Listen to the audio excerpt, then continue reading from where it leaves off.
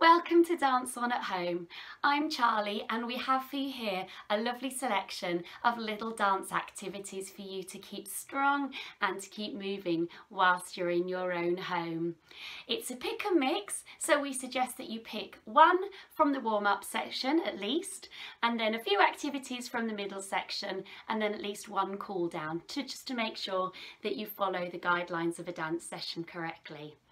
We also suggest that you do a minimum 30 minutes um, exercise each day and just when you're dancing make sure that you have a clean and clear space, make sure you have your water bottle handy, follow the guidelines that are given to you by your health practitioner and please do amend and adapt any of the exercises that you need to. You can do them seated or standing or standing with support.